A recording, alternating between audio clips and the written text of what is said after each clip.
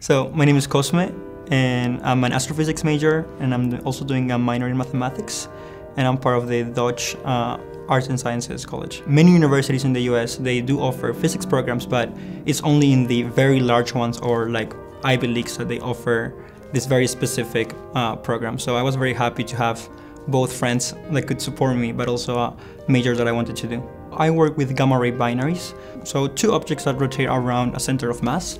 And gamma ray binaries in particular emit high energy astrophysics emissions, so that's something very rare. There are actually only five of them uh, that we know of, and we don't really understand some of the underlying physics mechanisms behind the production of high energy emissions, so we want to know what's causing all of that.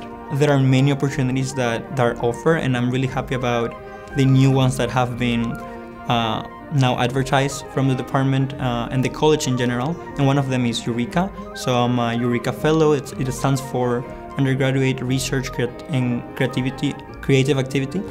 The undergraduate program for Eureka uh, definitely strengthened my independence because I work with my mentor and he's the one who was giving me guidance but at the end of the day it was my project so i think having that flexibility for independence really made it uh, something that i was really involved with so i really like that like unlike homework or other things that we do in academics where we know the answers to i think doing research and doing it very independently uh, really contributes uh, contributes to one of the qualities that are looked for when you think about researchers.